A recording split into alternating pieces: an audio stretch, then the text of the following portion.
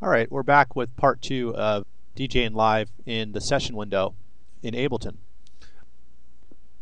So what I want to show you in this is basically how to set your effects up to mimic the way that a regular DJ mixer would work. So what I've done is we've got our audio 1 and audio 2 and as I click here you'll notice that I brought in uh, Ableton's EQ3 and I brought in a phaser and set it to a, a preset that, that I liked. And basically with the phaser, I'm just going to use the ability to turn it on and off when I want to. And then of course in track 2 I did the identical same thing. So these are all separate. Now what I'm going to want to do now is I'm going to want to assign uh, a few of these to to different keys and knobs. So first thing I'll do is I'll go to my MIDI and I'll grab I'll, every time I, I click on this then I twist the knob and it will recognize the knob that I want to control it like so and then with the phaser I'm just going to click over here on key click here and then I hit that key and that affects the phaser. Now, now my first key on my keyboard is going to make that phaser go. And then I'll go over to audio 2 and I'll assign the second key to that. And then I'll go over to MIDI and I'll assign three more knobs just like so.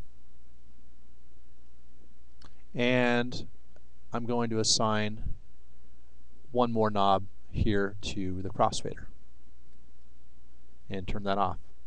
So now I, I pretty much have complete control over the track just like a DJ mixer.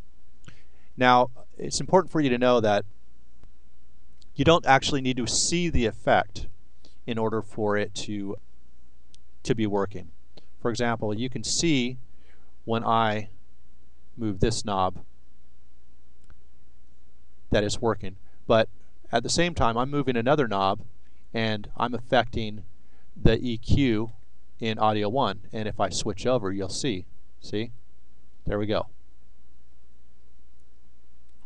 So and then here let me go ahead and turn this down and I'll see if I can give you a little example.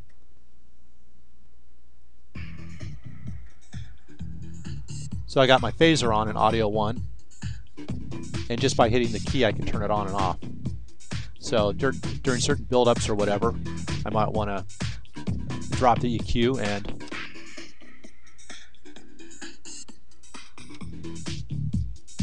just like so. So that gives me a lot of capabilities there. Now another important thing to know, I typically like to turn my EQs all the way up. That way I don't have to worry about some middle point that I've got to meet in order for it to be at a normal level. So I set my volumes and set them up so that my, the volume of my track works with having these all the way up. Now if you play these, you could actually do everything with your volumes with the EQ because if you turn an EQ all the way down, it's off. Here, let me show you. So I'll play this. Out goes the lows. Out goes the mids. And now you got no volume at all and that's all done just with the EQ. So it's really easy to creep in a track. And if you warp your tracks right, you got the confidence that uh, that your tracks are beat matched just just fine. So that's a little bit about that. The next thing I want to show you, I want to go into a track. I want to show you how you can like live on the fly, you can set loop points. That way, if you decide that you want to keep a certain part going for a while, uh, it's really easy to do. And the way that you would do that is, now I believe you can set it up with your MIDI. So if you wanted to, it's your loop position here. I could actually assign a key to that. So let's say I assign key 3 and 4. Well, it doesn't look like it wants to do that. but nonetheless, you could just uh, click on these and it'll set the uh, the loop point. So let me go ahead and show you.